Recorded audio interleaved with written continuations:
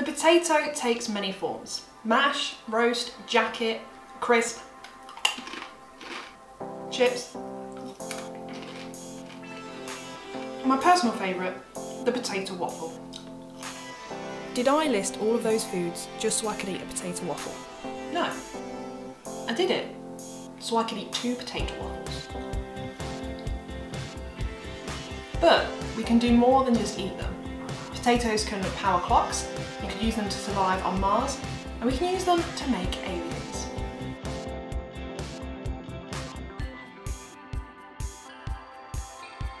I'm going to show you how to make your very own potato print aliens.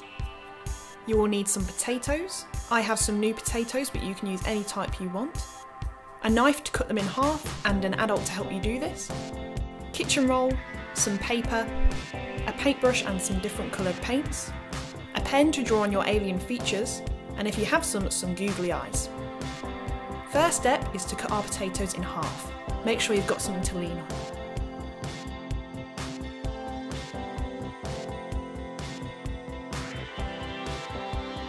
When you cut them, they may be a bit wet, so use your kitchen roll to dry them off, or maybe leave them to dry for a bit. Time for some painting. Choose your colour and paint the potato, and print onto your paper.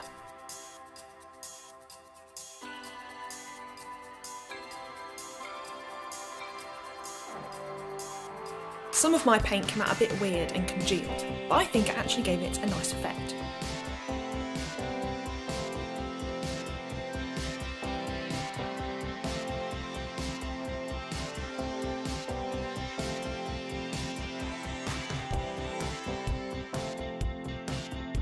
When you've done all the potato printing you want, let the paint dry.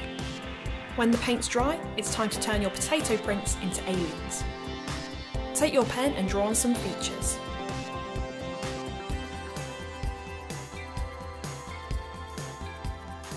No one's seen aliens yet, so how many eyes do you think they'll have? Will they even have eyes? How many hands and feet? Or will they have tentacles?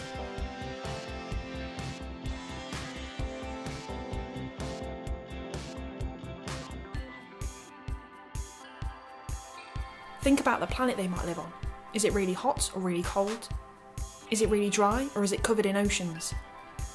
That's why I gave my green one gills and fins like an alien fish.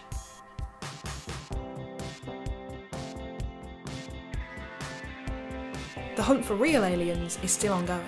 They probably won't look like the aliens I'm drawing, but will be teeny tiny microorganisms. One mission that might help us find extraterrestrial life, or signs of it, is the Mars Sample Return Mission. NASA and ESA are working together to bring an actual Mars rock down to Earth for scientists to study.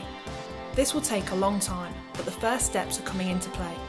The NASA Perseverance rover, set to launch in summer 2020, will be sample caching, storing Mars rocks and soil in tubes on the surface, to be then collected by a small ESA rover. The sample will then be sent into orbit and eventually brought back to Earth. I like to be open minded, and space is all about unanswered questions. So I think there could be a little round green alien with a crown and a moustache out there appreciating the amazing portrait I've done of it. Then I'm going to add some googly eyes to bring them to life.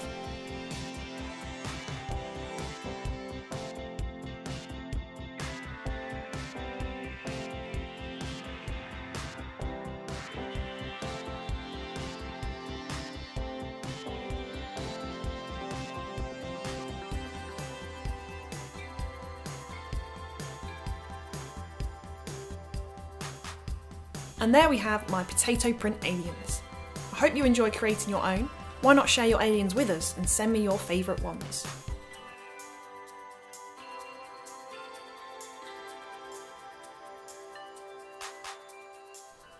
And I've decided the slimy orange one may well be the best piece of art I've ever done. So I can eat two potato waffles.